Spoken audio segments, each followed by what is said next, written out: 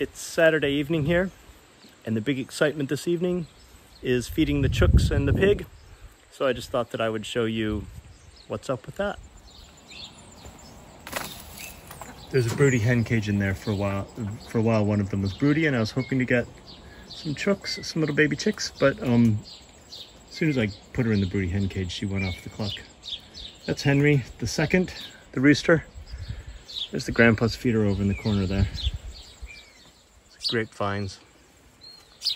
So the grapes fall down and they nibble on the grapes when they're ripe. And over here, Doogie's having his dinner. Oh, here's Dusky. She sometimes gets a bit confused at meal times. Doogie's eating dinner over here. Hey, Doogie. his head buried in the bowl as usual.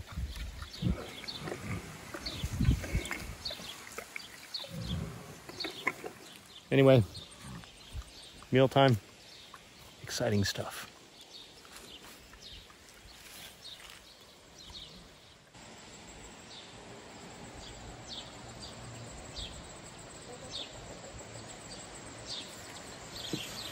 A lot of people that email me say that they I've always thought about moving out to the country.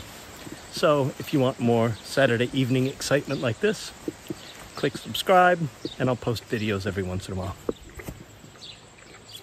It's exciting life.